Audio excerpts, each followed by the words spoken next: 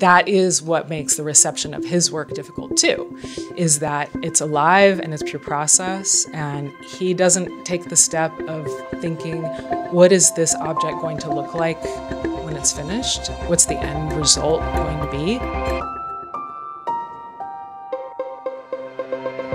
I'm Ben Davis, and this is The Art Angle, a podcast from ArtNet News where the art world meets the real world, bringing each week's biggest story down to earth. Harry Everett Smith is an odd figure to come across in an art museum.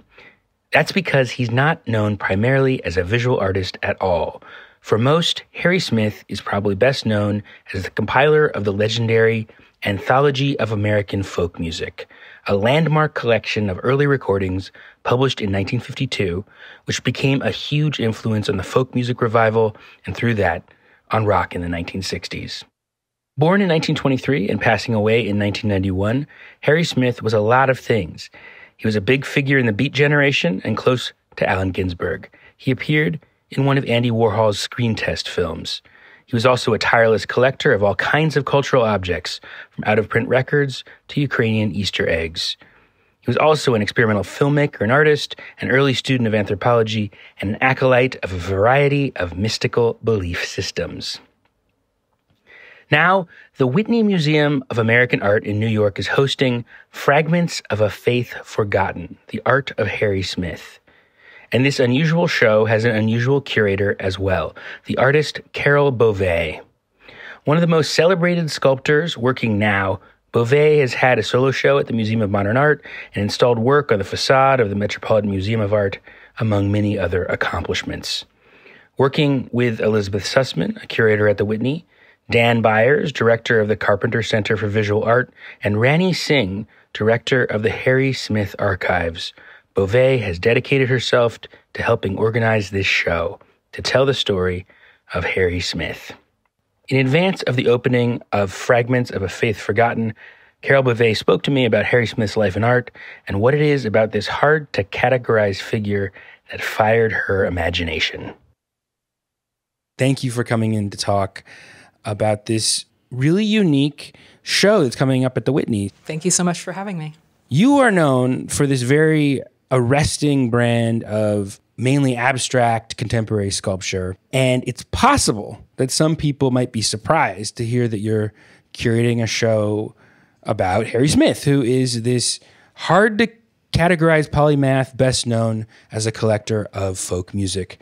So, just to begin, what first got you interested in Harry Smith? I got interested in Harry Smith as a result of the research I was doing on the 60s when I was making some work in the early 2000s. And I would search for books online. And if I ever came upon a store where two of my searches landed, I would just look through all of their holdings. And so then I found this one place that had two books or three books that were on my list. And I ordered 11 books from this person. And so then he immediately emailed me back and said, Well, if you like this and that, you're going to love all these other books. And he offered me a bunch of books. He was totally right. He wrote kind of a short introduction to his interests to say that he was into poetry and you know esoteric studies especially 50s and 60s and the secret knots that hold everything together so he was in Berkeley and my family's in Berkeley, so I arranged to go visit him. And so he, Philip Smith, became my research partner. I'll make a search that doesn't predetermine what he's going to give me. And so, in the way that he interprets my instructions, I get this kind of more open ended types of searches than I would get if I were just looking for things that I already know about. Fascinating.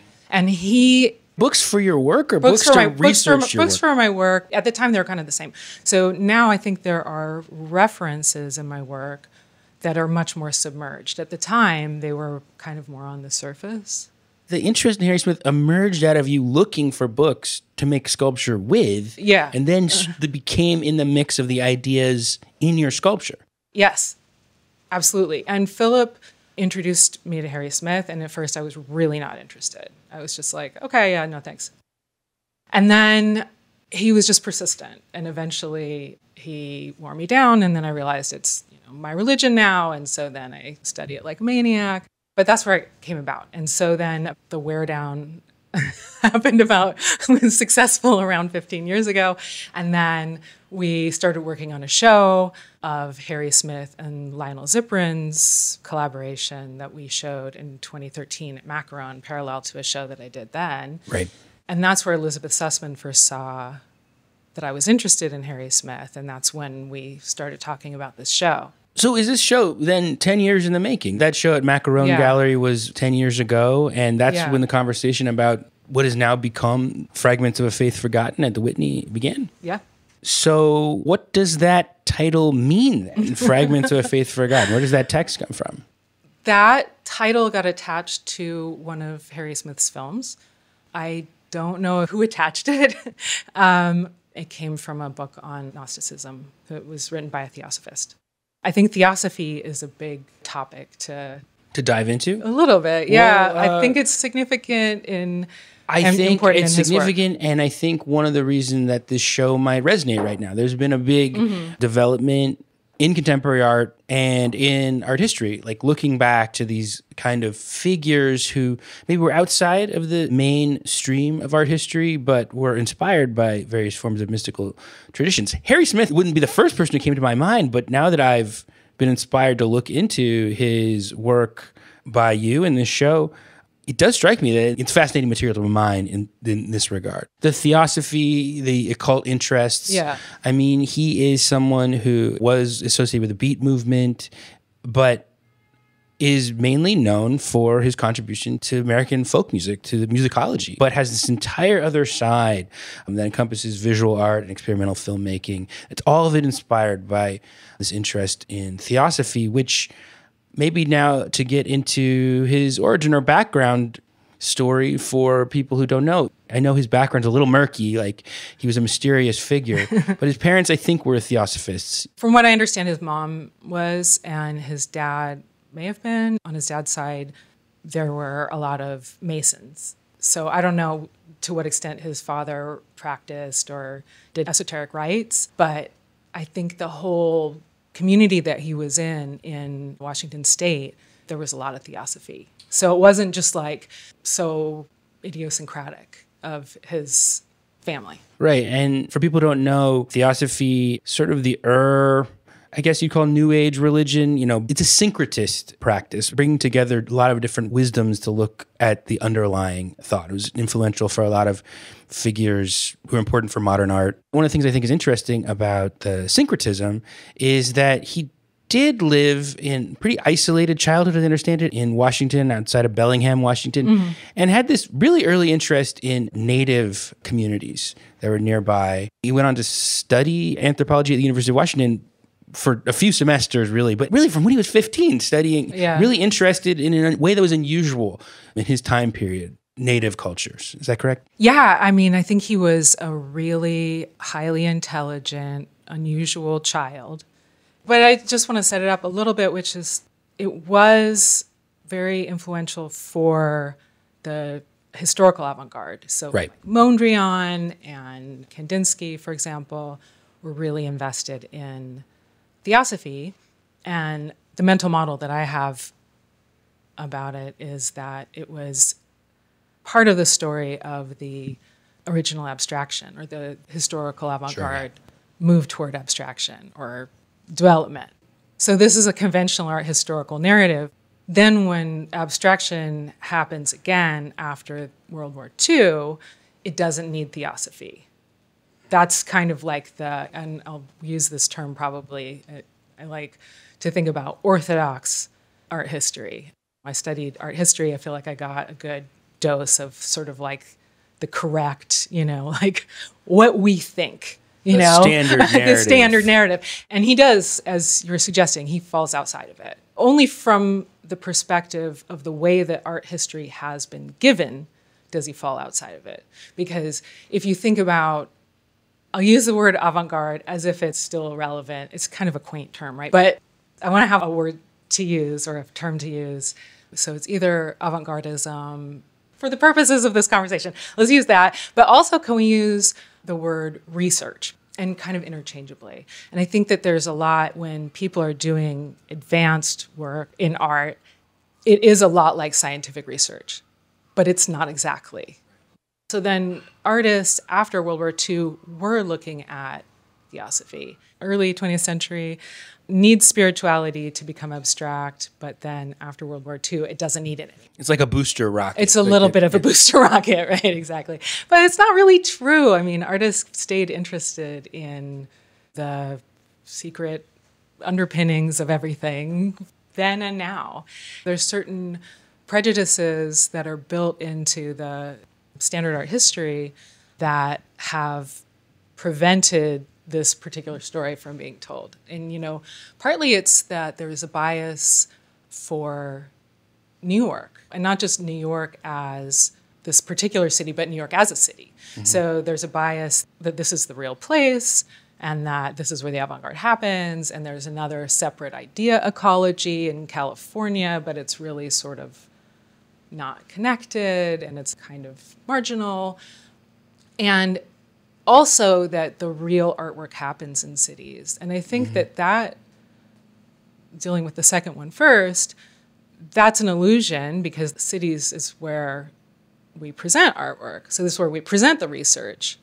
But it's not always where the research happens, you know? Yeah. One of the things that came about or that I learned in doing the research for this show over the last several years is how much these two idea ecologies are of east and west coasts are very over the 20th century are very connected and also how artists move around more and that they're aware of each other. People who are generally based in california are going to new york and also New Yorkers are going to California. And there's stops along the way, and that right. people are staying with each other. Right. There's more cross pollination. There's a than, lot than of cross pollination. And cross pollination is almost like the story of Harry Smith's yeah. life, and maybe something that the Theosophist methodology of looking across cultures for wisdom gave to him. I mean, we mentioned yeah, the totally, avant-garde yeah. idea, and I look at his thing, and I think about this lonely childhood in the Pacific. Northwest, and I think it is like not avant-gardism, but like to the sideism. Like what seems to always interest him is stuff that he connects with because it feels on the side of the mainstream culture. Yeah. You know, like he felt like he was growing up. That's psychologizing him. But that's how I think about it. You know, whether it was native cultures that were beneath consideration or outside of consideration at that time, or indeed avant garde art at that time period, or folk music that he was discovering. I'm thinking about so many different things. One of the things, though, is that, okay, so imagine, so he's born in 1923, Washington State, and imagine for a moment that we're there one thing that you kind of lose track of is how shallow the European history is on the West Coast, right. Pacific Northwest in 1923. It's kind of like the European influence is like a little sprinkle on top. Very deep history with like a little teeny tiny dust on it. But when Europeans did come, or Americans came and displaced the Native Americans, and then established fisheries and the canning facilities there, they kind of automatically decimated the wildlife. So there had been plentiful fish for millennia, and then the Victorians came and just like applied their powerful mechanism to fishing. And so then by the time that Harry Smith came along, it was in kind of a state of ruin. Was already kind of abandoned, so it had sort of come and gone. It was already yeah, like already a, been a boom like and a go, bust boom cycle. and bust. Yeah, yeah, and so his situation was of relative poverty, and then there was a lot of I think empty space. I don't know if you read the sounding for Harry Smith, the Bret Lunsford, and anyway, so he talks about Harry Smith as a little child had a there was an abandoned building that he had a museum that he right yeah you put i think they things, colla- yeah. collected natural and cultured objects for display you know like as a fourth grader or something like Right. that and it sounds like he had a teacher who was very maybe theosophically minded it sounded like or if not theosophical then anthroposophical and that they had a bee husbandry is one of their activities. Sorry, that's a digression. But the fact that this is like this kind of situation in ruin, but then where it's really obvious the American government has been this genocidal agent and that people have been marginalized. And so the story is that his mother was teaching on an Indian reservation. That's not how he talks about being first introduced to Native American ritual. Can't remember that, that origin story, but yeah, he got really interested in it, was able to construct a recording device, was able to win the trust of people who were doing ceremonies and um, very unusual very unusual Yeah. and in this time period like really hard i mean talking about i think in the book i was reading like 50 pounds of recording equipment Yeah, and like, he's a around. small- it's nothing you could hide you're doing i mean no, you no no no. you're have to have doing people buy into it. But and, and you know he was a small, sickly child. I don't know what he was ill with. He missed almost a year of school and was held back. And he had a hunchback. Was always like a very physically small person. So how does this material this period appear in the show We have one section that deals with his early life, and there's some pictures that he took from his precocious period. He also got interested in this period in these string figures, which is something I didn't know about, Mm-hmm. but is represented in the show that are I don't know how to describe them. They're like cat's cradle like string constructions. One of many things he collected throughout his life. Yeah. And that I think he believed was he described it as one of the most universal art forms alongside dancing. Yeah, no, they're just like cat's cradles, and we have that as a familiar process in our culture. But yeah, a lot of the cultures that he studied had them. Later, he was assembling a manuscript. I mean, there's like thousands and thousands of these different string figures, and they are for storytelling, Right. I think. Yeah. What I really think about from that period is that you see later, aside from an interest in people, is the notations for dance. Right. So he worked on a notational system to record dances. That's a motif that goes through his work, which is to translate from one mode of expression to another. Mm-hmm. Um, Again, to the sidism, you know? Like, Yeah. As a, Yeah, as a, yeah, yeah. As a figure Yeah. between. Yeah, yeah. I think that maybe brings us already to San Francisco. So he moves to San Francisco in the mid 40s. What draws him there? What did he get up to? So we were talking about anthropology. Something to keep in mind is anthropology was so young then. Right. And I want to reread the section in John Szwed's book on anthropology and surrealism. I Yeah, think the very he first part, it. yeah. He handles it really well, and it's really interesting how co-emergent these two things are. You know, I mean, anthropology dates from a bit earlier, but they are in really close dialogue, and I think that, in a way, brings me to Berkeley, where he moved to Berkeley in 46. And I think he had planned to work with Paul Radin, who was an anthropologist at Berkeley. And Berkeley at the time was okay, so here's a counter narrative to the New York story. So Berkeley was one of the centers of the avant garde in the United States after World War II. And it was this real literary center where people are doing experiments in poetry. There was like a poetry renaissance, obviously science. Anthropology was like way more kind of wild, you know, mm-hmm. before it got more Academic. more academic and more what do i want to say i mean later when you study things that don't go in the narrative there's like forbidden anthropology now and there's forbidden science now that you would call paranormal but at the time you could deal with ghosts you know like that wasn't outside of the rules Right. And if you were a young man interested in ghosts, that would be the discipline you were drawn, drawn sure to. yeah. I'm sure there it was determined by a lot of things but he got an assistantship with paul radin and i don't know how long that lasts it doesn't seem like you know he's somebody who really could deal with systems of authority structures of oppression you know he was like very against and Fascinating because he's so interested in systems and structures, but Yes. like alternate systems and structures. alternate and i think that you could generalize and say it's not that there aren't politics and power dynamics within the systems that he's looking at but it's not the type of top down coercive control that you have in nation states or in really organized religion. So the stuff that he's looking at really tends to be by people who have more freedom from such structures. And that seems to be something that he's really focused on throughout his life. And that's one of the interests in folk music rather than courtly music. Mm-hmm.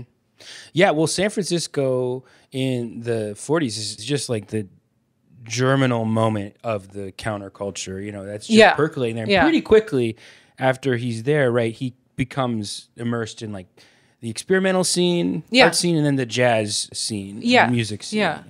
Yeah, no, it seems like he found his way right to the center of it like immediately. He was there for a couple years. He went then to San Francisco. Was- From Berkeley to San Francisco. From Berkeley to San Francisco. He was doing some work, presumably volunteer work or some kind of work for trade at SF MoMA in their art and cinema program, which was like the first experimental film program in the United States. And that's really the birthplace of it.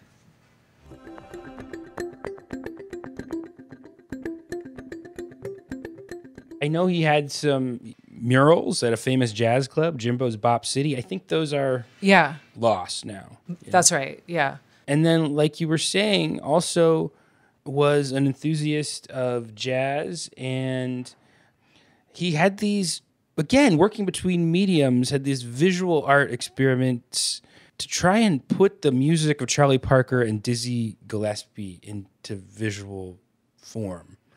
Yes. So he was making these paintings. So at the same time that he was making films, he was working for Art and Cinema and working for them, doing stuff like chasing down films from people like Kenneth Anger or Oskar Fischinger.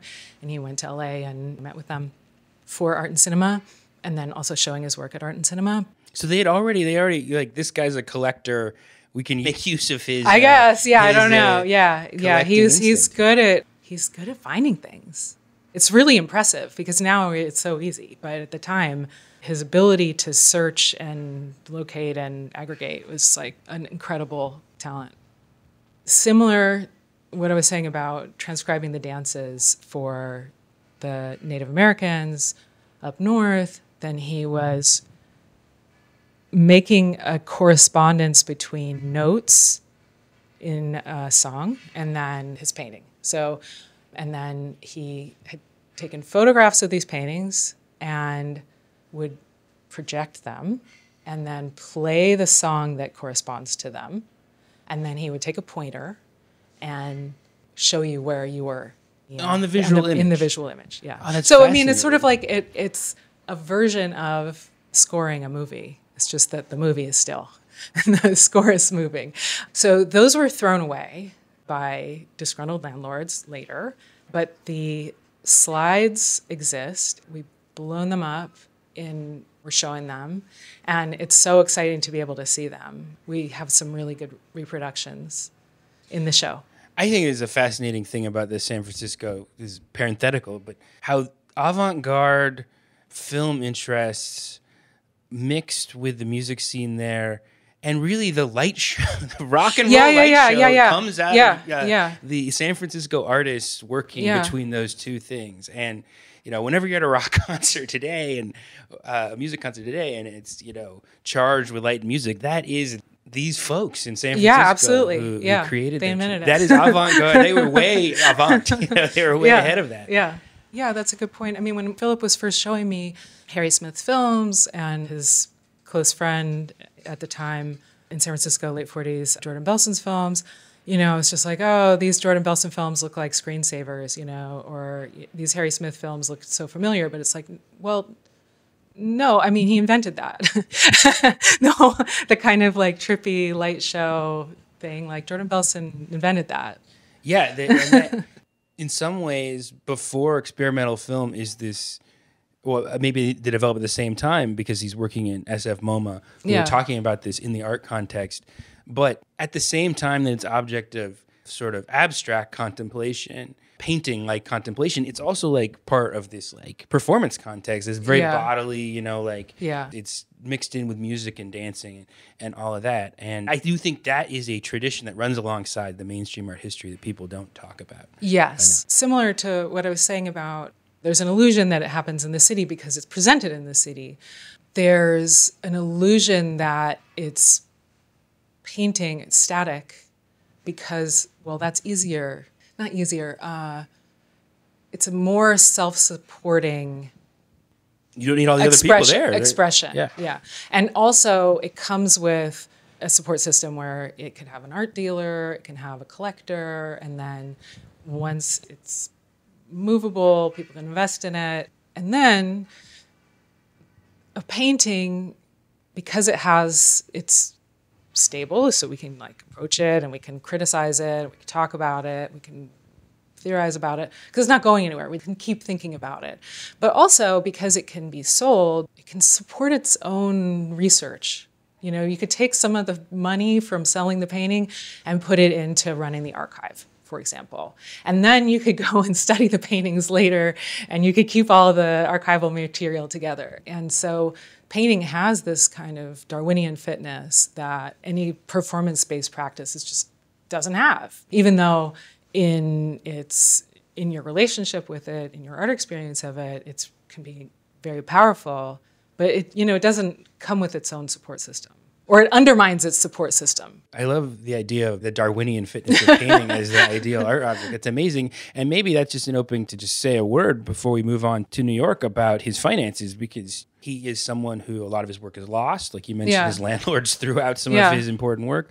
And he is someone who's really interested in the living dimension of culture. Yeah. Even I think among the anthropologists, you know, there's a whole critique of anthropology about treating cultures as dead. Right, right. documented. He really was seemingly very engaged with them as living and Yeah. inspired by them as like these are like communities uh, with meaningful practices. In Yeah. any case, he was involved in living culture that doesn't have that Darwinian fitness in terms Yeah. of you know like becoming objects that get sold away and traded away, and that affected his life. You know, he, he was someone who really lived uh, seemingly pretty mysterious how he survived. Yeah. actually. Yeah, he lived in real poverty and want.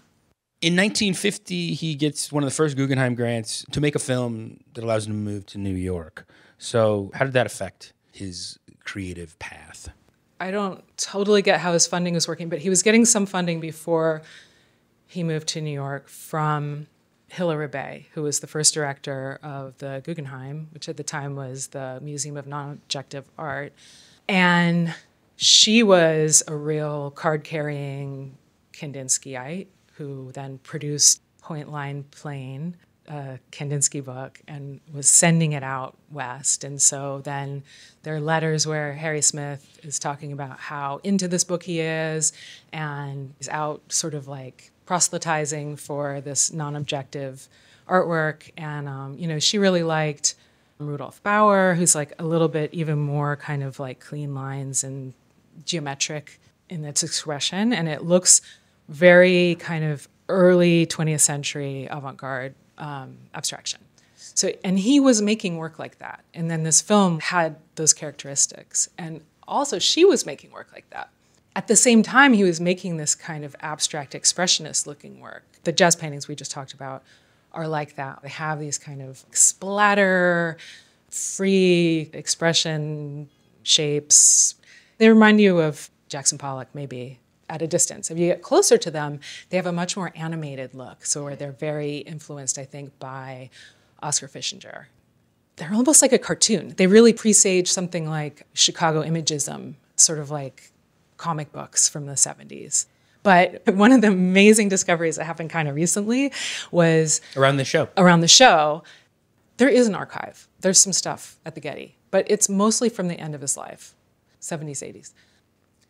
The other stuff, since he doesn't have a stable place to live, sometimes doesn't have a place to live at all, is located with his collaborators. So when you find one of his collaborators and then you look around in their papers, then you find some Harry Smith stuff. So there have been all these almost like archaeological discoveries in the process of putting the show together. And a lot of it has been aided by the fact that people know there's a show at the Whitney. So they're like, oh, like I have something you might be interested in. It's like, yes, we are interested. Wait, wait, what's that? Shakes, um, shakes trees, yeah. yeah.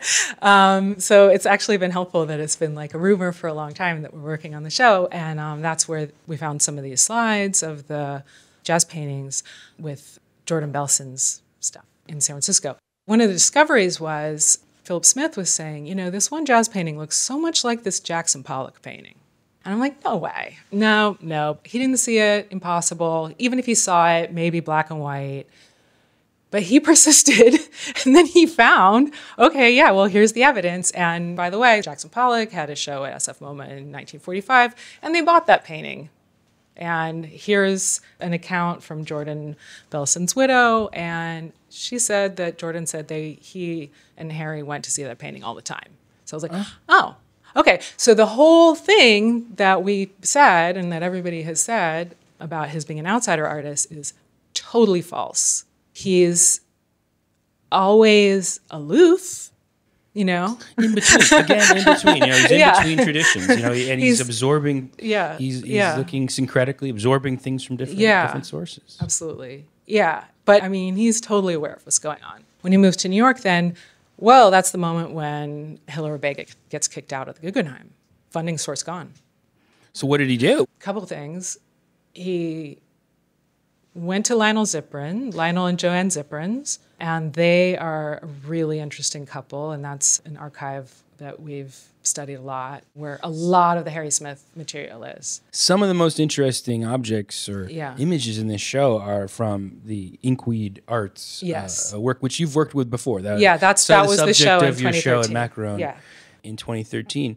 Uh, describe these objects. They actually do again fall outside of like categories people might have. So Inkweed was run by Joanne and Lionel Ziprin. They employed Jordan Belson, Harry Smith, Bruce Conner had, I guess, his earliest paid work was for Inkweed. Inkweed was a subversive and esoteric greeting card company. And they were maybe the first to have that idea. And their designs were really advanced. And Lionel Ziprin was a Kabbalah scholar. So He a lot of these images have this kind of Kabbalistic imagery or Yeah. or almost mystical symbolism. For sure. And he's such an interesting person. He's from a long line of important rabbis. Then, I guess, during the 50s, 60s, he had this avant garde period where he wasn't as observant. He was still very religious, but he wasn't as observant. And so he taught Kabbalah to the people who are associated with Beat and in the 60s too, people like Tony Conrad, and in the 50s like Wallace Berman and Marjorie Cameron. He was the kind of ground zero for this Kabbalah study in the post-war American avant-garde. But he, as a religious person, was also, I think, really ambivalent about it. So it wasn't like he didn't publish, he didn't get out there, but he was an important poet and just like a secret hero of that time.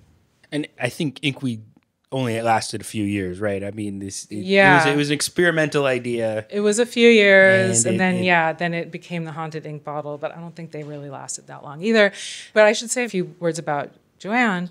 One of her best friends was Lena Horne, and she had a lot of connection with uh, jazz world in New York, and so their household was a place where people went before they would go have their set at the five spot or before they would go see people at the five spot. And so it was like a really important meeting place for the post war American avant garde.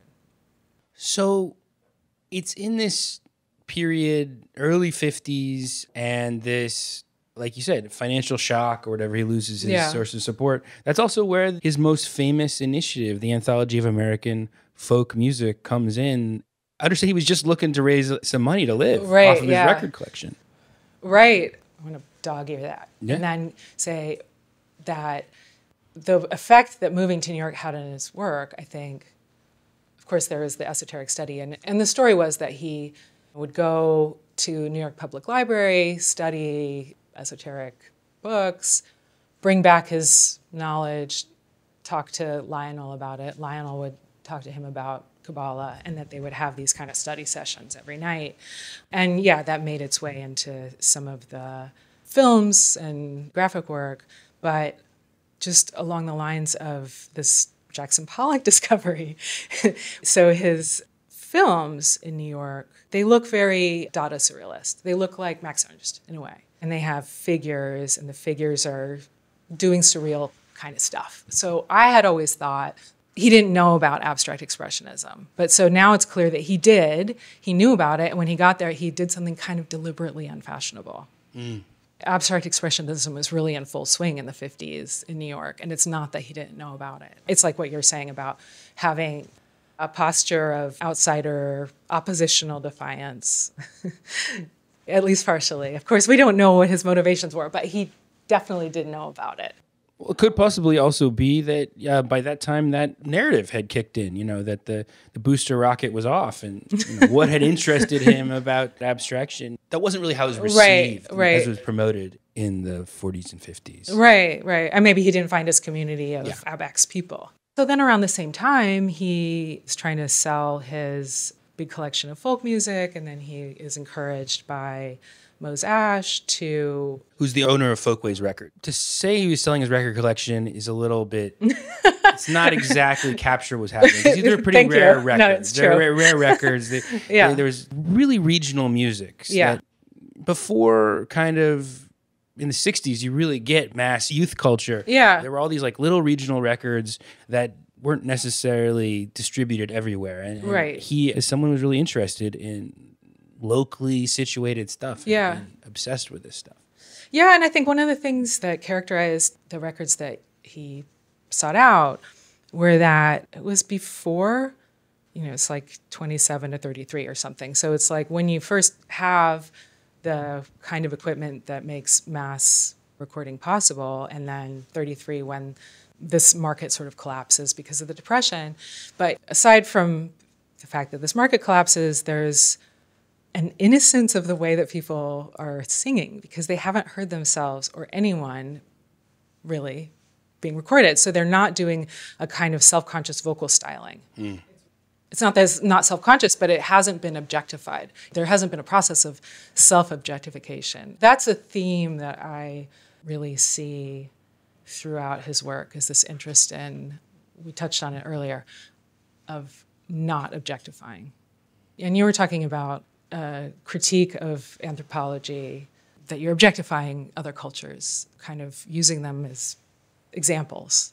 I would submit that he is 100% against objectification at all times. And that is what makes the reception of his work difficult too, is that it's alive and it's pure process. And he doesn't take the step of thinking, what is this object going to look like when it's finished? What's the end result going to be? It's always in the process of cooperating with whatever's being made. And so then I see that is when he's looking at people who are doing string figures or he's looking at people who are doing different folk craft art traditions, he's actually looking at them as almost like crowdsourcing. You know, so like, oh, well, here's an example of what a person would do.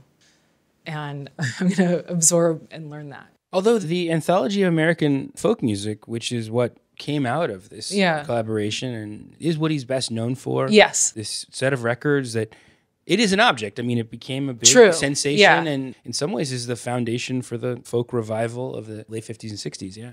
Right. And clearly you can see that there's some self presentation that he, that he wants to communicate in the object to people. So I guess what I would say about that too is that when he does produce an object, it's kind of for money.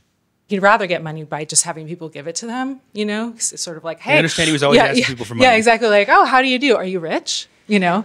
well, that's um, a literal story. That's not a joke. that's an actual. That's an actual story. Introduced actual, himself to people. Actual story. Yeah, true story.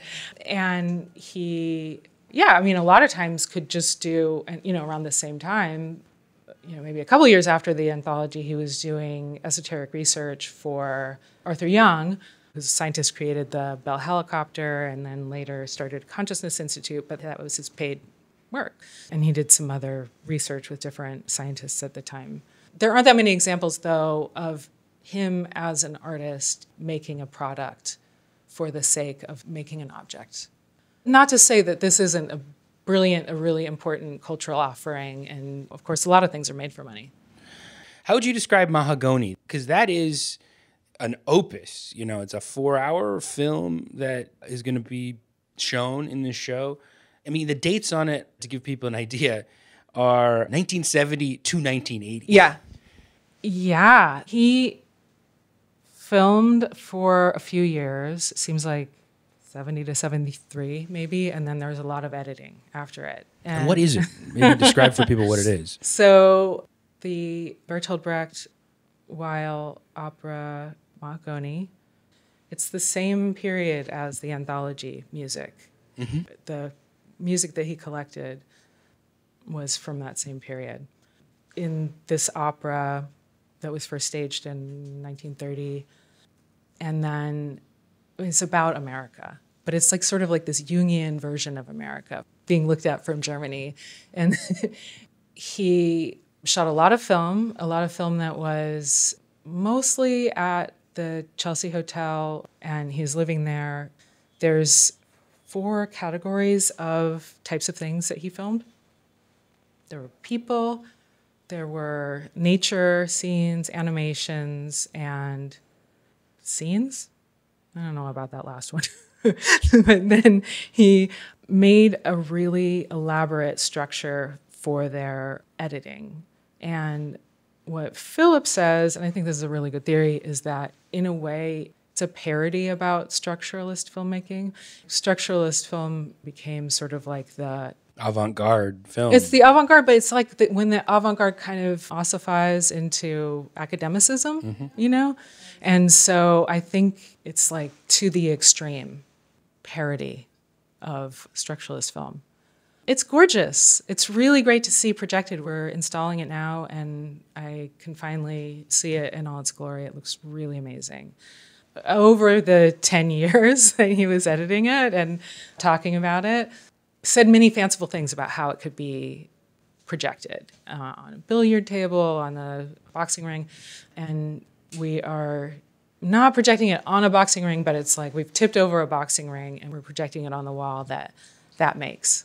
That's part of my role as one of the curators, as an artist curator, is to not be too objective, not to be irresponsible. I feel very responsible, but I think that there are clear signals that make it legible to a viewer that this is not true. This isn't the objective take on this work. This has been animated. This has been, there's an artist who's animated this work, who's cooperated with this work to do something to, you know, well, I guess maybe to give it a life again, reanimate it, make it a living process as he yeah. would have thought. I was going to ask you about this. I have so many other questions for you about the show, but it seems like a focus of the show, if I understand it, is about how his sensibility, as someone who kind of blurred making stuff with collecting stuff, yeah. does feel contemporary. Yeah. Because yeah. the lines between making and collecting I've been kind of blurred. And then here you are, you know, an artist who is also working as a curator. Yeah. We started this conversation you talking about how you were collecting books uh, right. for the purposes of an artwork. So,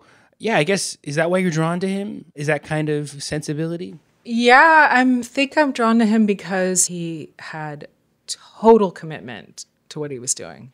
I think that's really inspiring. And the stakes are not about his standing or his career or making money or what people think. It's really about bigger problems like the entire world, civilization. Those are the stakes. I think that's what the stakes should be. I think that's a pretty good place to end it. Um, you know, and we haven't even had a chance to talk about his paper airplane collection. but I'm so excited to see the show. Thank you so much for being here with us to talk about Harry Smith. My great pleasure. Thanks for having me. That's it for this week's episode. If you like what you heard, you can subscribe to the show on Apple Podcasts, Spotify, or wherever else you get your podcasts. Also, please take a moment to rate and review our show. It will help other listeners discover what we're up to. The Art Angle is produced by Sonia Manalili and Caroline Goldstein. Thanks for listening, and see you next week.